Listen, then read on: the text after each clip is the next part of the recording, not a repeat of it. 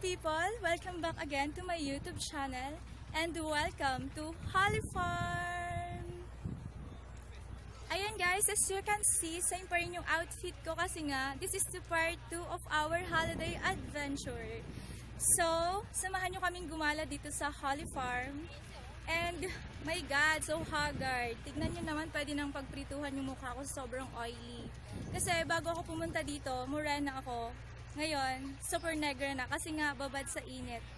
Lahat ng ano dito, picture doon, picture dyan, tiis ganda lahat. So, samahan nyo kami. Let's go!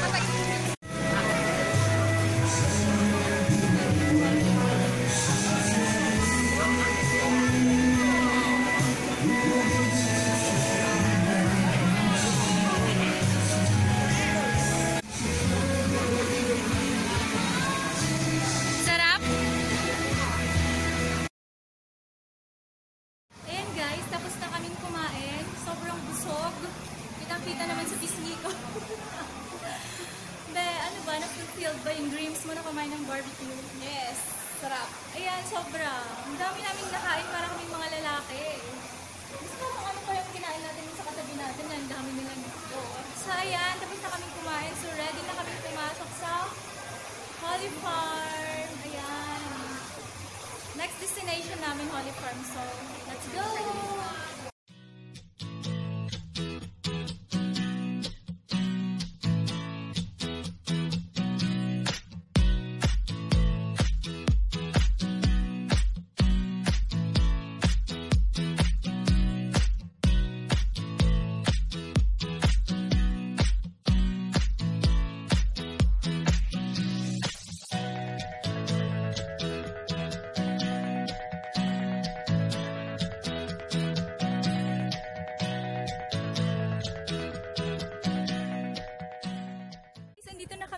The very famous Holly Farm. Hi, girl! Hi! Yan. Busy lahat sa mga, ano, picture taking yung mga tao dito, guys. Kanya-kanyang picture. Sobrang init, guys. Para makakuha tayo ng mga magagandang angulo, tis ganda muna tayo. yung itim ko, guys, nadagdagan ulit.